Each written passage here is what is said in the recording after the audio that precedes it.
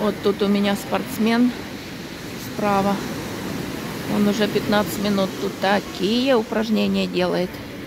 Посмотрите, какой молодец. Наверное, футболист. Я даже не знаю.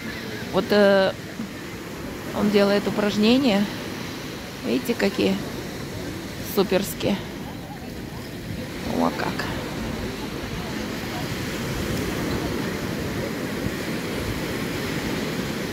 Прямо, с, знаете, с удовольствием я за ним наблюдаю. Решила даже достать камеру и вам показать. Вот видите, что он вытворяет? Опа. Прямо такими кругами. Так вот. Свое тело завязывает в такие узлы. Видно вам, друзья? Посмотрите, как здорово он занимается. И такой пластичный.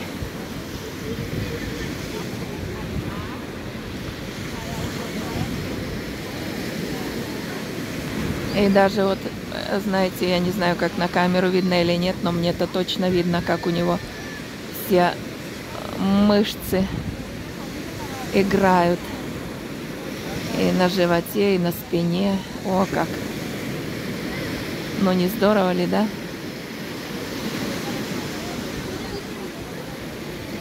Ага.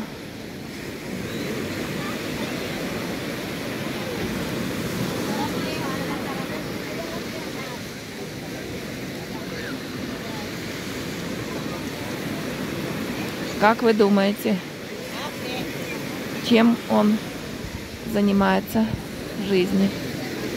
Он какой-то спортсмен или он просто вот такой вот йог, любитель?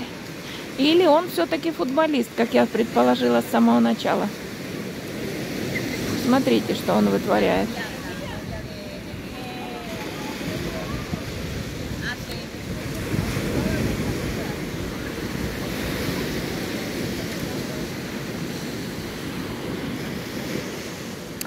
А вот еще, посмотрите, две красавицы. Три даже. Вот. Угу. Видите, это местные жительницы. Пошли купаться. Они рядом со мной здесь сидят. Очень громко разговаривают.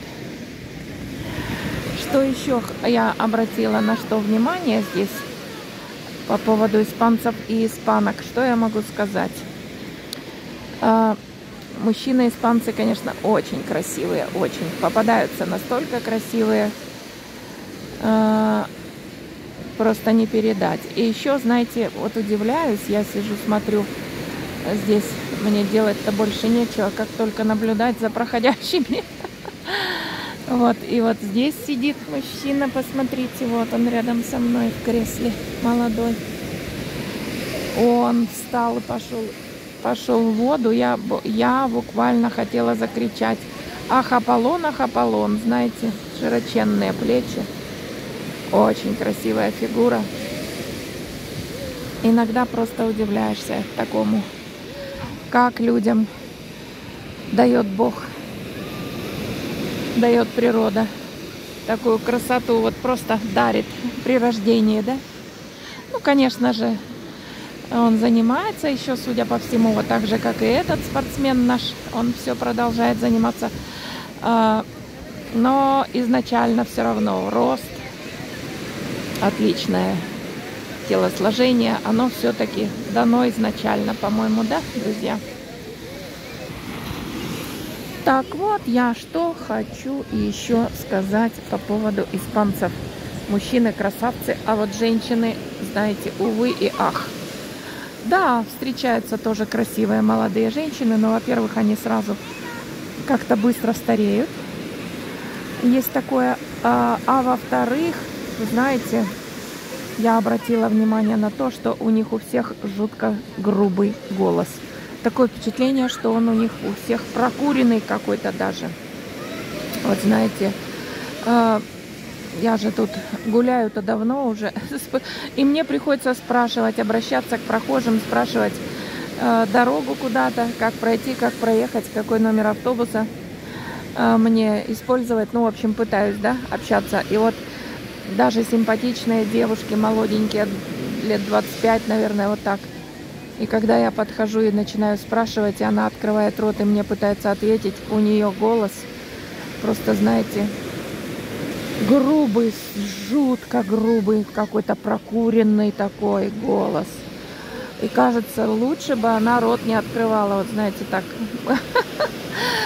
Ну, я не, вы знаете, я как-то вот не для того, что я кого-то обсуждаю или что-то такое, там нет, я просто вам рассказываю то, что мне сразу вот бросилось в глаза, и на то, на что я обратила внимание. Но ну, а уж женщины 50 плюс, они, они вообще имеют голоса в основном очень грубые, хриплые. И при том они разговаривают очень громко, вы знаете.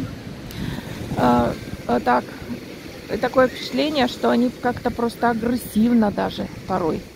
Потому что вот это вот такой громкий разговор грубым голосом неприятным, он э, создается впечатление агрессии.